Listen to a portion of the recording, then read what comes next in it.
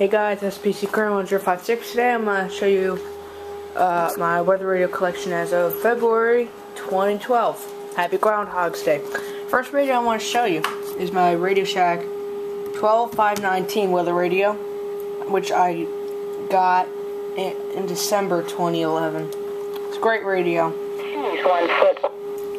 You guys listen to AM FM. Very interesting radio. One of the most expensive ones too, next to the WR 300. But yeah, it's, it's a pretty good radio. I highly suggest that you get it because it's really good radio.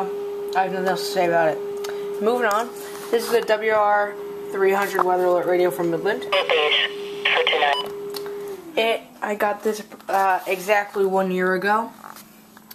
So I think today's his birthday. I think I got it on the 2nd of February 2011. Groundhog's Day. Uh, excuse me.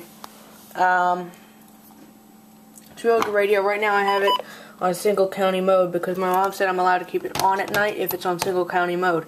So yep, that way it won't go off for any random other alerts.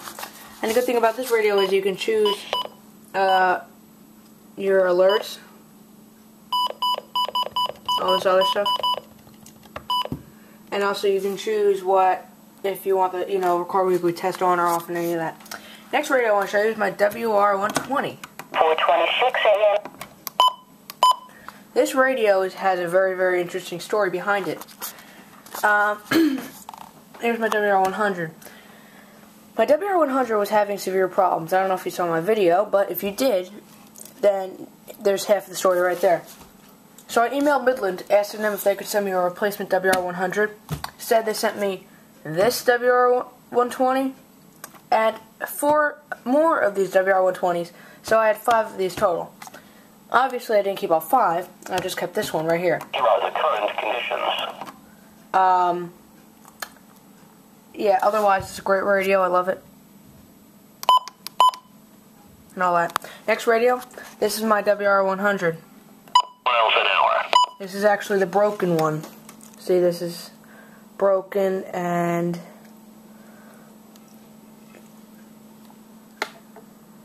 yeah, it's broken. This is a broken one. I just brought it out. I want to see if it would still work. It works fine, but I'm assuming it's going to die soon. I got this one back in uh, March 2007. That's how old that one is. And then the one over here is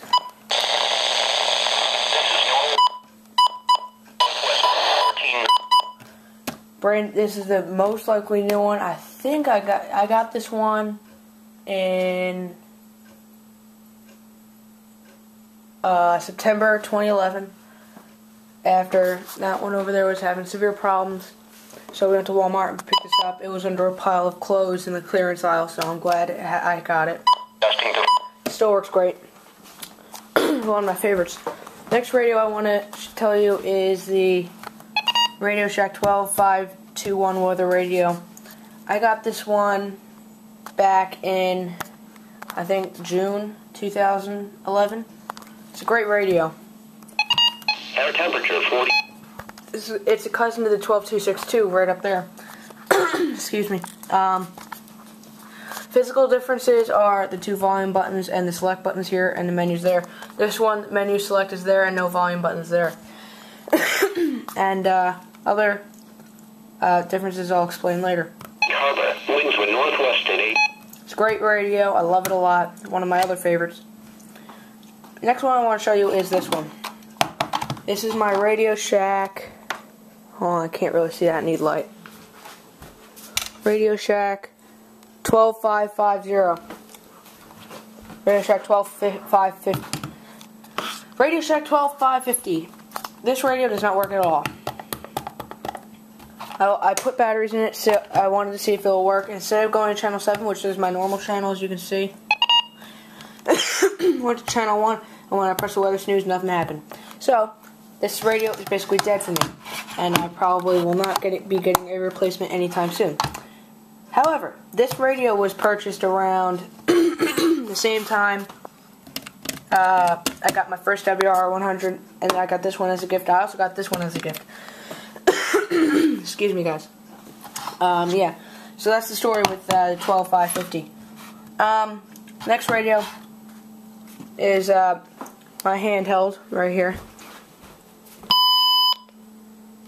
This is the Radio Shack 12522 weather radio.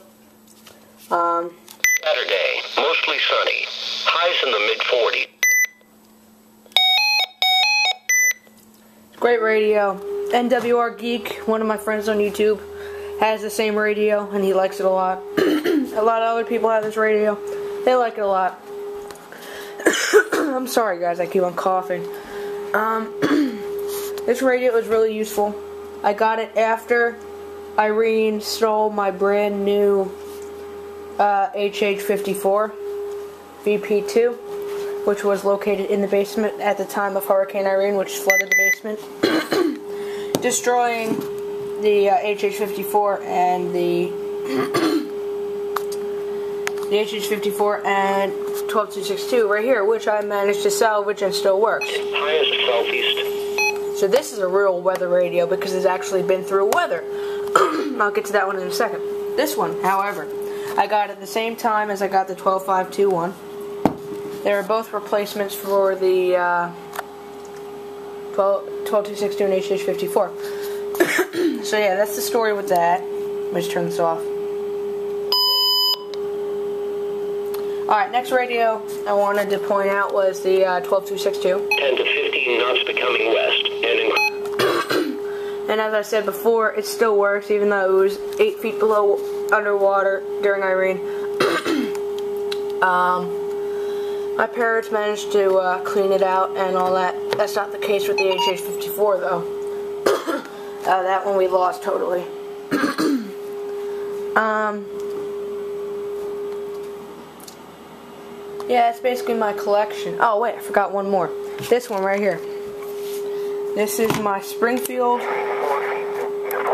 weather radio. highest southeast.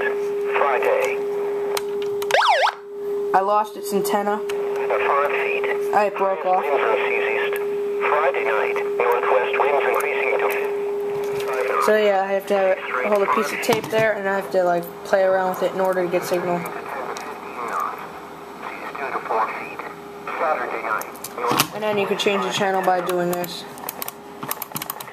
Sunday. And volume like this. I just keep that off. yep, so these are my one, two, three, four, five, six, seven, eight, nine, and 10. Well, technically 9, because I have two of these. But as you know, this is uh, my weather radio collection. Alright, guys. This is SPC Cranford 1056. This is my weather radio collection for Groundhog's Day 2012, aka February 2nd, 2012. Um, I will be back soon. Um, comment, like, you know, I'll do all that fun stuff. Alright, guys.